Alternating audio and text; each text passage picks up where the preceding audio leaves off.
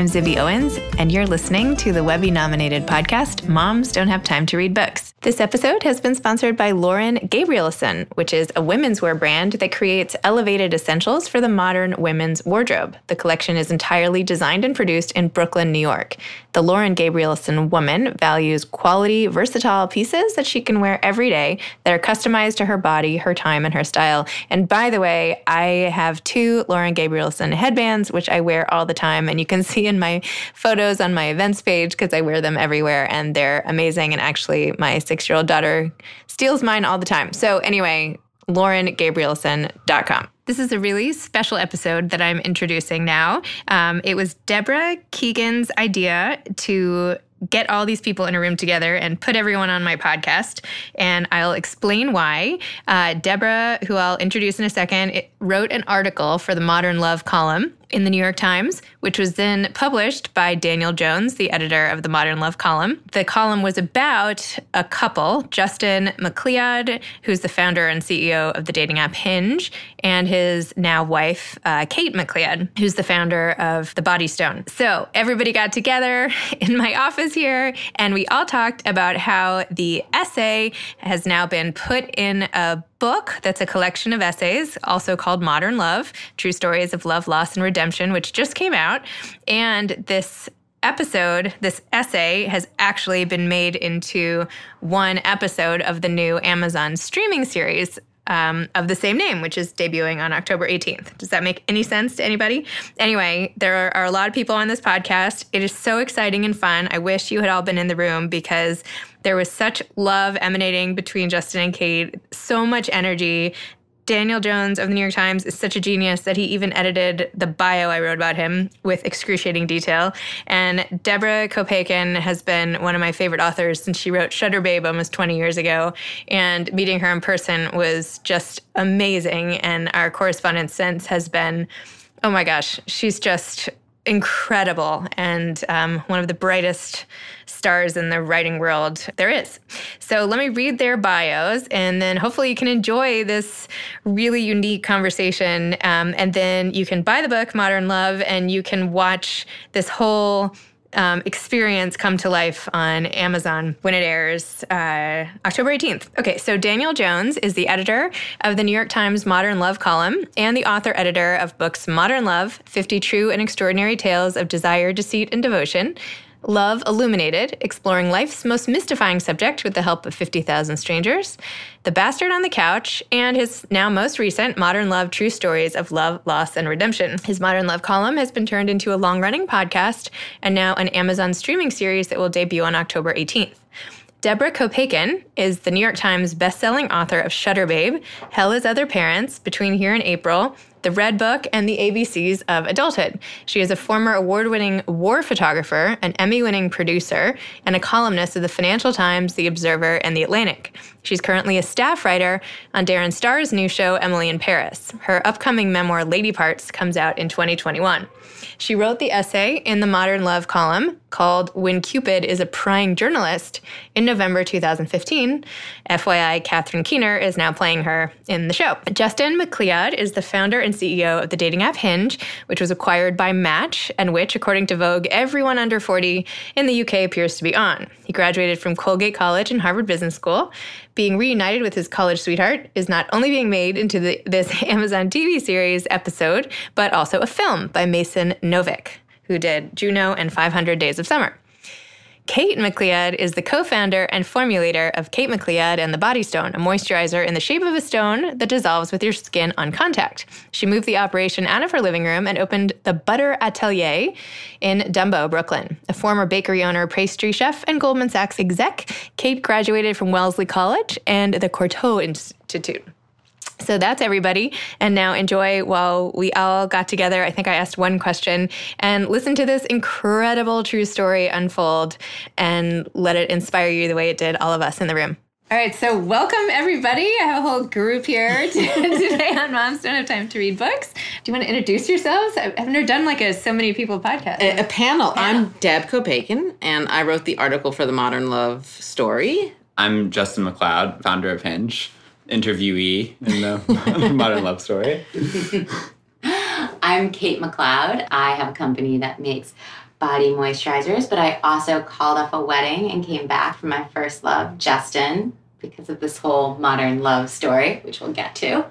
And I'm Dan Jones, the editor of the Modern Love column in the New York Times. And I had a a glimpse at the editing after Dan tore apart the bio I wrote about him. I was like, oh my gosh, maybe it's because he's the editor at this major column at a major newspaper, but I now I'm totally embarrassed by my comments or whatever else I did wrong. so anyway, clarification. That's okay. That's actually I can take it. I'm good with edits. Okay, so who wants to jump in and tell the story of what happened? Justin, why don't you start and I'll fill in and Sure, I can start. Well, I don't even know where to begin, really. I mean, I guess I'll start in the middle. Okay. in medias res, as they yeah, say. in Yes. medias res, which is that this really started because I was running Hinge back in 2014, and I got a call from, or an email, I guess, from Deborah, remember. and asking. I think you wanted, you were looking for like I was looking for a stories. job or a story. No, I was looking for, I was looking for both. like- At the time, I just gotten that job at, at, at, at what was it called? Cafe.com, that just then became the mid.com, that then sort of blew up. Yeah. But I needed to produce a story every single day. So I was like, okay, what am I going to write about today? Well, I met this amazing guy on Hinge. Like, why don't I just interview the CEO of Hinge? Because that would be a fun story. How did you start your dating app? So we met. and- Yeah, and you came to me and you're like, "Well, I downloaded this app, and the first guy who popped up for me, I matched with, and now we're in love. And like, how did you figure this out? Like, what did you, what did you do?" And I, you know, I don't, I was lucky. I got lucky, and so we had like a great interview. It was like very standard about you know the founding of Hinge and how we got here, and we were wrapping up, and I think you were getting up to just kind of I had to go Um, pick up my kid at school. And I was like, oh, I got to go. Shoot. Yeah. and she asked this one final question, which was, "Have you ever been in love?" And it was like a throwaway question. I think she was like running out the door, and I was like, "Well, once a long time ago, but I didn't recognize it until it was too late." And so she kind of stopped and turns and and she asked me to tell her the story, and so I told her the story of Kate, of my college girlfriend that I was totally in love with, and uh, and I it sort of screwed it up because I had a very sordid past of drugs and alcohol and all kinds of uh, rehabs, and it was a wild story. And I kind of just at the end of it all told Kate to sort of save herself and run away, which she wisely did. And then four years later, after I'd like cleaned up my act, I had reached back out to her while I was in business school, and she politely declined my. I reached out to her to say, like, you know, come back to, or at least let's meet up, right? You were living in London at this time. She so Kate had moved, it's, it's such a long story, but Kate had moved to London, and I had reached out to her, and she said no, and I was heartbroken. And sort of Deborah pulled out of me that really Kate was the reason for Hinge. I mean, I was heartbroken, and then the idea for Hinge spawned a, a few weeks later, and and that was it. And and I said to you at the time, I was like, you just emailed her? Like that's not if you really love her, you gotta go after her. And then I told him the story of this guy that I was dating back in 1989 who I met in Jamaica and then we spent a beautiful week in, in London together. And then he was supposed to show up in Paris and never showed up and I thought he'd stood me up. And I found out 20 years later because that was back in the day before email and Facebook and like being able to keep track of people that he had showed up in Paris. But didn't have like had lost a piece of paper with my phone number on it and ended up staying at a youth hostel all weekend. And like i know it's so sad. So when when this this young man and i met up 20 years later both married with three kids and you know love doesn't go away right? It just is there. And so I told him the story and I said, if you love her, don't end up like me 20 years later regretting not going after this person. I mean, I thought I was stood up, but like just put your body where your beliefs are. And thank you for that. you know, we had Justin kind of jumped over it, but it had been a very it had been like four years of many back and forths and even on my part a transfer of universities just to like get my life back together because when love happens and it's true and it's real like that it can really just render you I was so distraught emotionally, I couldn't get anything done. And so when he had come back after four years of silence, I just thought, I can't trust this. I can't do it again. And I needed a little bit more of a grand gesture. I needed to know he was really serious. And I was afraid to do that because you know, having screwed it up so many times mm-hmm. before, really putting yourself out there. It wasn't so much, well, I guess it was my, I mean, in retrospect, it really was my risk, but it was the risk of hurting her again that I was afraid to like put myself out there so much because then she would maybe actually come back. And then you'd have to deal with and then I would, intimacy. yeah, and then I would screw it up again. And I think that was the big fear for me. And so you told me to go over there. And I'm like, listen, you know, crazy lady. It's been seven years, and she's getting married in a couple of months. And really, it's you know, she like lives in over in Europe, and it's just, it's too late. And you're like, it's never too late. You gotta go. It's never too late. And also, she'd been engaged for two years. I was like, that's Yeah, a that's long it. engagement. That's yeah. it. Anyway. Um, Moving on. But yeah, I was Justin sent this one final email in February of 2015 and it said he actually thought I still lived in London. I was living in Switzerland at the time. And he said, I can't believe I'm never going to see you again. I'm going to be in London launching Hinge next week. Meet me for coffee, just 15 minutes. Hello, goodbye. And I got it. And I just, something in me, I had never stopped thinking about Justin. I really hadn't. A quick interjection, which is that I, after that one time I reached out and she said no, then I would write her at least every year on her birthday to, uh, and sometimes it would be like, oh, you know, I can be friends now, like maybe we can be friends. And then the next one would be like, I'll come over to London with an engagement ring, like anything. Oh wow. And I was always summarily ignored. I didn't even know whether she was getting them. Like maybe she just blocked me. I didn't I know was getting them. until until I sent the engagement one, at which point I got blocked on all forms of social media. So I did not. And let's just, I'm gonna cut in there just one of the Because the thing is, basically, when we finally split up, I kind of came to this internal realization that, or I just assumed that the love wasn't reciprocated. And that what you should look for in life is a really good friendship and partnership, but anything that passionate is going to blow up. And that's just, you know, avoid avoid that. Um, and so I met someone when I came to New York, and we were really good friends, and we were together for seven years. And the reason that none of these emails were responded to is we did have that one point of communication in 2010. We had one phone call, and then after that, whenever I would get one of these emails. I would actually open them up with my ex and we would read them together because Oh. I did not want there to be any secrets. I remember telling him about that first phone call, and I remember saying, okay, like, this is a relationship. I didn't want to hide things. So if I get contacted again, we're a team. Let's open this together and we'll read it together. And then he Um, wouldn't respond. No, I, I didn't respond. Thank And God so- Kate didn't know how to block emails. He's the tech one. I'm the hands, like. But after that email that he did send, I think it was in like 2013, that said, you know, I really, I would come over with an engagement ring. My ex was getting ready to propose, and that one really struck a chord. And yeah, you were blocked. Um, I never stopped thinking about him though. And it did start to dawn on me that maybe this wasn't as one sided as I thought it had been all of that time. And I was approaching my wedding. And the thing that really bothered me was that I was still thinking. There was this nagging, it was like this little thing in the back of my mind that kept cropping up. I was still thinking of this other person. So when I did get that last email, and for anyone listening, that little gurgling noise is our baby who's five months old. I was gonna say that. I didn't want to give away the ending. It turns out we ended up together. Okay, all right, all right, thank you. Spoiler alert. Now I can talk about the ending. But when I got that email, there was just something that went off in my head that was like, you know what? This one's for me. It's the only one I didn't share, and it's the only one I responded to. Mm. And I, yeah.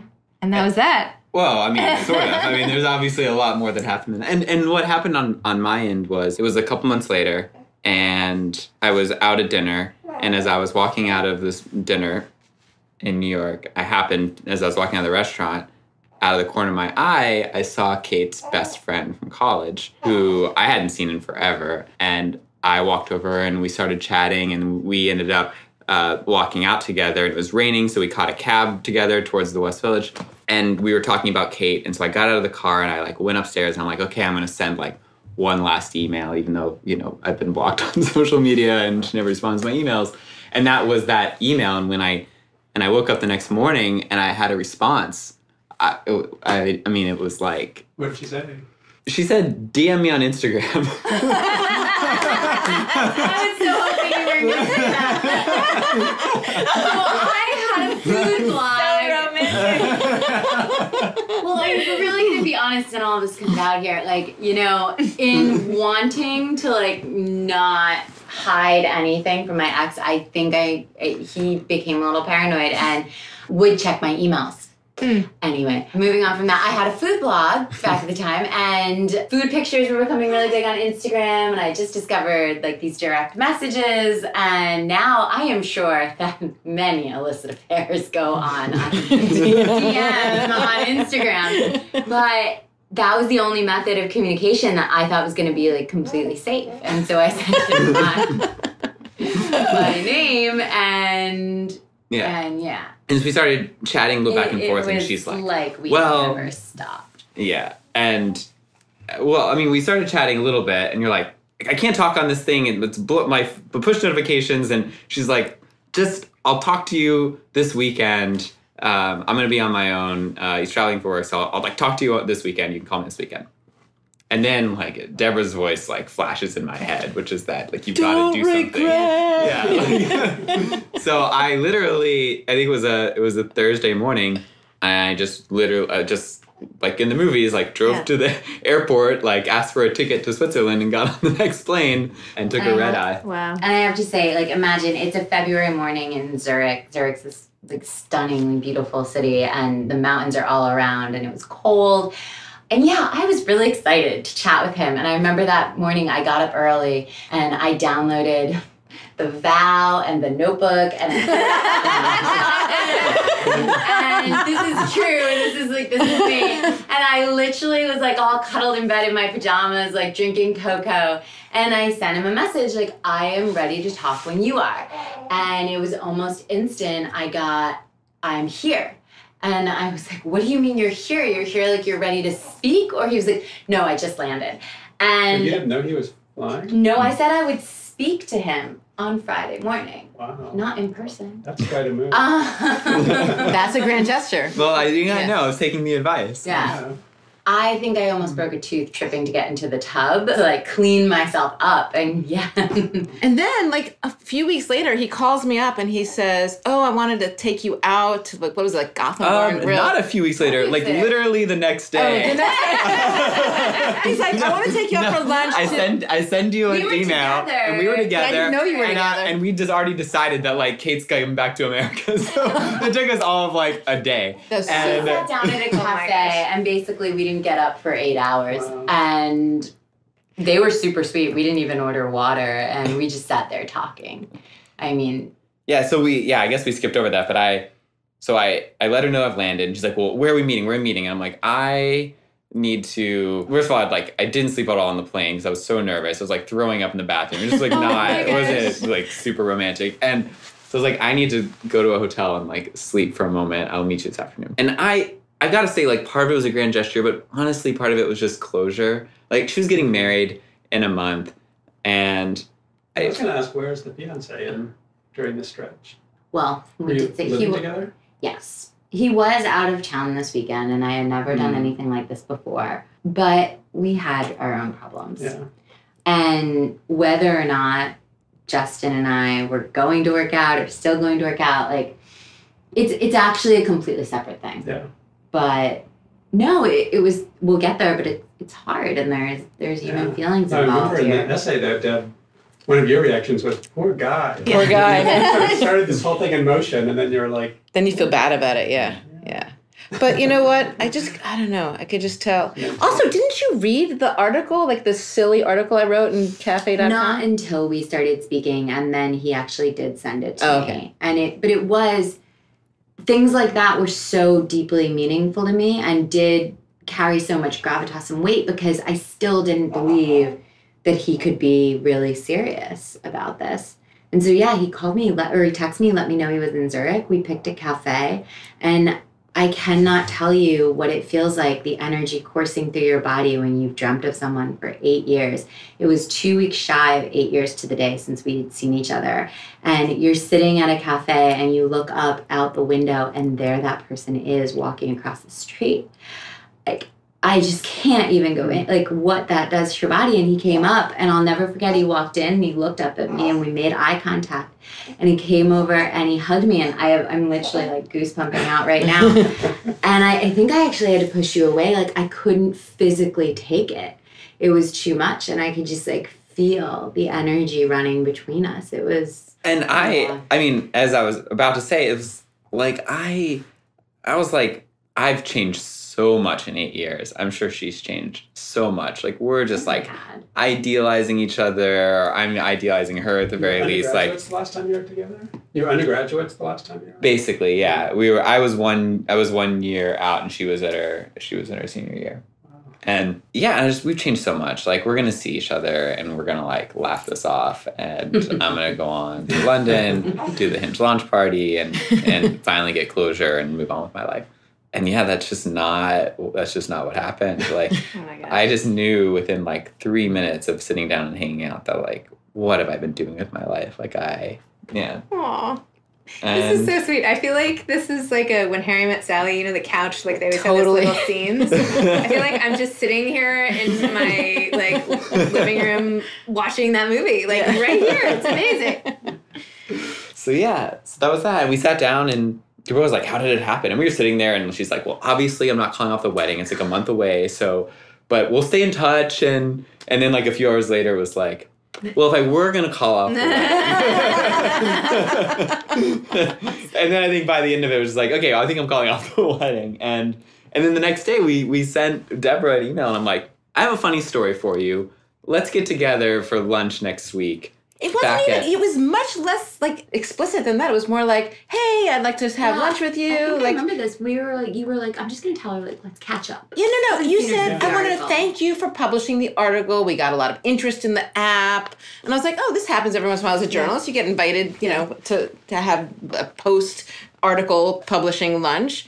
And so I walked up to the maître d and I said, "Oh, I'm meeting Justin McLeod here, so it's table for two. And he comes like running behind me. He's like, "No, no, no, table for three. And I thought, "Oh, he's bringing a publicist or something." Like, ugh. But then he said, I said, three, who are you talking about? And he goes, her. And look at her hair. Like she was running because she was late. Her, like this beautiful strawberry blonde hair running by the window in a pink coat. I will never forget that image ever. that It was, and I just started crying. You're not even giving yourself enough credit because actually you and you immediately like I said table for three and you turned and you were like no and then you just started crying and, then, and then and then we sat down and Kate like ran around the corner. I and- cried the whole lunch. the whole So, lunch. like all, all of you have such Hollywood impulses in your lives. I know, right? The average person would not hold that information. Like they would email the person and say, "This is what happened. This is the story." They wouldn't save it for like. That moment. So cinematic. And even in the in the essay itself, that was sort of one of these moments. Like when I'm editing a piece and I'm reading it, and it's like this isn't even if it happened this way, it's not believable. You know? so we may need to do some work here. like the scene when when you are gathering at the restaurant and the timing of that and all that. I'm like, it's just not believable. Because and yet. and yet I know Yeah, stranger than fiction for was- sure. I know. that it was. But even in my head, I said, "Oh, there was three weeks between the time that you emailed me." But no, it was the, from It was Switzerland. from Switzerland. Oh it was oh from God. Switzerland. I'm like. I'm gonna eat. Like, Deborah's gonna love this. Oh my god, totally. and then I went back to my office and I told them this amazing story, and then I got fired. oh no. yeah, no, scary mommy, your Oh, friend. yeah. I didn't say it was my friend. Okay. scary mommy. I said I like- wrote one article for that. So the the at cafe.com became the mid.com and then we bought Scary Mommy and then she became our editor and like soon after that she calls me and she said, "You know, Deb, every time I read one of your stories, I just want to dumb it down and make it shorter." And so I was like, "Oh, I guess that's not going to work for me. That's not I don't want to." So I essentially, well, whatever. I don't know if I got fired or we just had a difference of opinion. And so I was going to write the story of their getting back together for the mid.com and instead I had to get a new job because I didn't have a job anymore and I was going to work for the Observer. But then my boss was sexually harassing me. And so I ended up at this horrible PR firm, which I'm not going to say the name of, but that was where I was working as a vice president at a PR firm and writing on the subway there because I had an hour commute. So I like you, you know, you asked me where did I Yeah, write this yeah. article on the friggin' subway Oh to my my other job. Unbelievable. Yeah. And then you just sent it.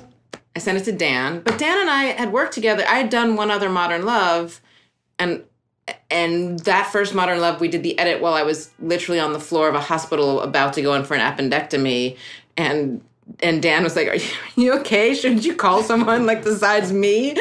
anyway, so I knew Dan, and I just I just he was the first person I thought of because it was a love story, right? It's it's a love story, and so A modern love story. a modern love story. Several times over. and I sent it to you, and you can tell the rest. And then, and then what happened? Well, yeah. So Modern Love has a lot of submissions, maybe eight or nine thousand a year, and it takes us months and months to get through them. Um, but in Deb's case, it you know we'd worked together before, and she's a pro. you know, she knows a good story when she sees one. So I don't know how long. I, I don't remember how long it took me to get to it, but I don't think it was that long. And yeah. But I love these stories that have it's the movie about sliding doors or whatever. Yeah, it is. It's these missed opportunities, and this had two of them playing off each other and informing each other. And there were parts about it that just you know they were true but unbelievable in a way. Like I said before, that it just the ways that it worked and sort of grand gesture. A lot of what I see today in stories that are submitted is this um, feeling that that kind of romance is lost. That that we're sort of we sort of moved beyond that kind of you know, no one wants to be vulnerable in the way that Justin was describing. That he would have to be vulnerable if he was going to do this, and um, there are too many ways to to protect ourselves from that. Like technology was supposed to be the the shortcut to love, and instead it's sort of like the armor against love in a lot of ways. Or we that's what we do it with it with our phones and all that. And so there's this, but there's this incredible yearning for for connection and a sense of romance and a sense of grand gesture and really taking a risk, you know, like taking a risk. So this story had had all of that, and it was just sort of a joy. But it also had it made sense of itself. You know, Deb talking about sort of how love from the past, that, that sort of eternal quality of when that you have that connection doesn't really go away. It may change forms or it may be passed along to somebody else.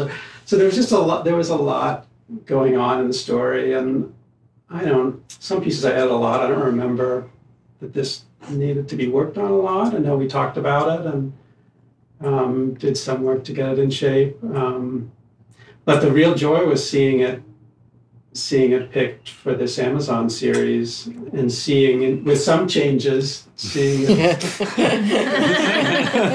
turning, turning Justin into the hero instead of the goat, you know. Um, I know it's with crazy. some changes, it, it's come, sort of come to life, and it's going to be seen by a lot of people in about three weeks. So exciting. Did you get did you get to pick the eight stories on which the series was No, that was a, a process that involved the, the producers and the Amazon studio executives, and um, we all read.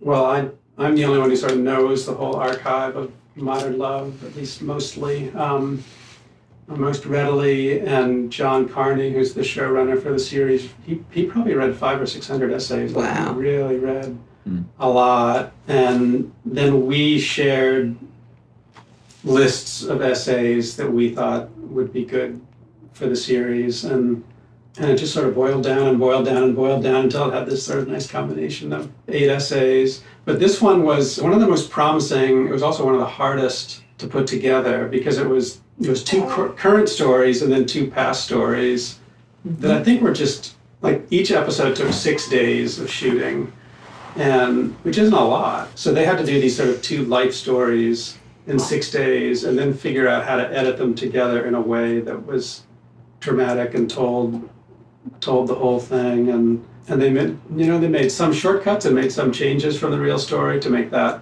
happen but it made me weep when i finally saw the final Aw. I, I I cried too. He showed it to so I got called into the New York Times the other day and Dan said, I'm gonna show you the story.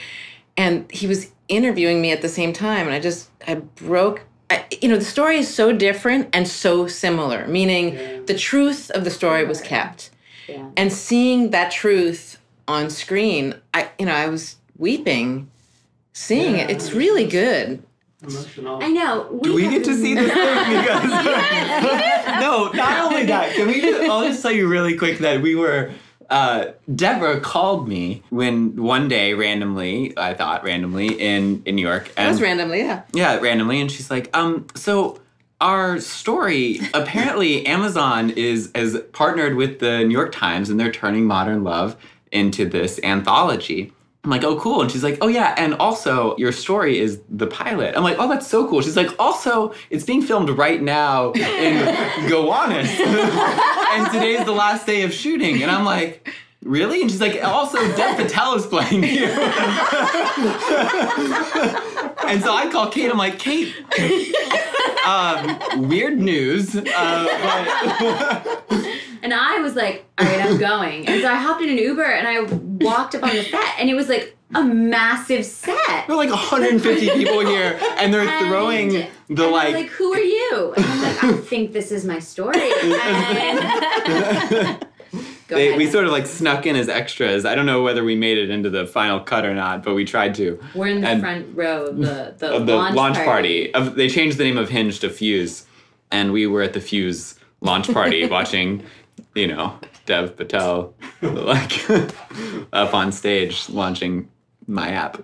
So it was uh yeah, that was a surreal experience. Another gosh. made for actually Hollywood have the moment. episode on my laptop and could show it to you. Um Wait, yes. Do you really? Oh. We're turning off the podcast.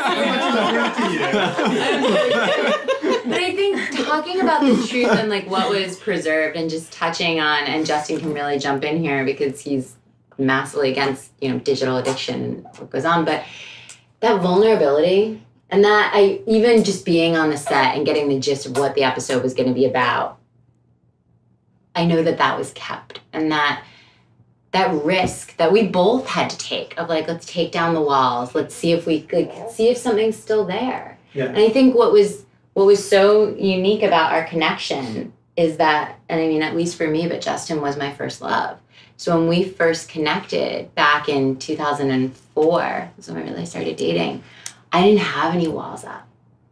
And we did just get to know each other and all of that just did flow out. And when you connect with someone on that level and you really share yourself and you it's more than just dating it's a friendship it's it's human connection and i do think we're lacking that in today's I think Deb's crying again. I am just like, well, I was just thinking, like, I just moved in with my boyfriend into their neighborhood. so now I literally run into them on the street. Just gonna and start it's just, babysitting. you know, and I came up, I came over, the day, I came over the day after they had their baby, and it was like two days later, maybe, whatever. And I'm like, I'm bringing my camera, and I shot some photos, and just, I, it's still weirdly overwhelming to to feel that this love affair that happened back in 1989 that didn't get a chance to live somehow lives on in that like little baby in this room you know it's just it's it's overwhelming And not just there, but I mean, I think the other relevant thing is that I was running a one. one I was running a dating app at the time, Talk about that. and so because of this whole story, and I was running this app that was it was a it was just a swiping app. It was just another one of those like Like- vulnerability shield swiping app things, and and this experience Yeah. because of you, because of us, taught me that like love isn't a volume game. It's not about like finding your perfect puzzle piece. It's about opening. It's like softening your So edges. that influenced how you design. Oh, yeah. totally. And I came, and so our love story, and I was like, this is so wrong. This is so wrong what we're doing. And so I went to my board of directors and I said, I, I, I know like we're growing, and I know that everything's going well, and I know we have ten million dollars in the bank, but I want to tear it all down. I want to start over from scratch. I want to build something that actually helps people who are really looking for something find their person. Wow. And This is also, I'm just gonna throw this in because you're forgetting this, but the weekend that he realized this, you like stayed up. It was Thanksgiving of 2015. It was the same weekend this article was published in the newspaper. And I remember like the last two nights we were down at your home in oh, Louisville, Kentucky, you literally did not go to bed. And you just sat at the kitchen counter and you're like, I'm ripping Right. down Hinge. That's so I'm true. Doing it. It was the same. Literally, the day that this article published. came out is the day that I decided, wow, I'd never even put that together. Yeah. But You're welcome. So I did play a role then. totally. and now, and now, like not just this, but but I mean, literally hundreds of thousands of couples, tens of thousands of marriages, uh, of your thousands one of babies, question. because Because of your your one because of that one question that you asked, and just think of like the the ripple effect of that. I Oh my went into the subway the other day and I saw an ad for Hinge, and it says, "This is we are the app that makes you want to uh, to get rid of our app." Designed to be And- Designed to deleted. Designed to be deleted. Thank you. better, better than. and I was the one that but maybe we'll reconsider our tagline. But I just like again. I mean, this story makes me burst out crying all the time. I sitting in the subway, I see the ad, I'm like. Because I know that he changed it after he met Kate, oh and now everybody that I talk to, all my single friends, are like, Hinge is the best because it asks you these really vulnerable questions, and you have to put yourself out there like that. And all of those prompts that like so he rebooted the app and then as the app started to develop and grow with time, then the prompts came on and that kind of tracked with like you know, when I first got back, everyone was like, "Oh, this is a fairy tale." Yeah, but it's two strangers living in like what 340 square foot studio who hadn't seen each other in eight years, and we had a lot of work to do. So as we became more vulnerable with each other, like literally that vulnerability is reflected on how the prompts that came onto Hinge. Oh my gosh. I mean, that's so interesting because the like the most popular Modern Love column by far, actually the most popular article in the New York Times was the 36 questions, Hmm. you know, I love that one. that are all about vulnerability and it's all about sort of putting vulnerability on an equal, you know, equal footing so that both people have to have to participate equally. Because the scariest thing is who's going to do it first or who's going to do it more or whatever. But yeah, so those questions, which I imagine are the same kinds of things that you have as prompts. It's a game, but it's a game with integrity and it's a game that really works.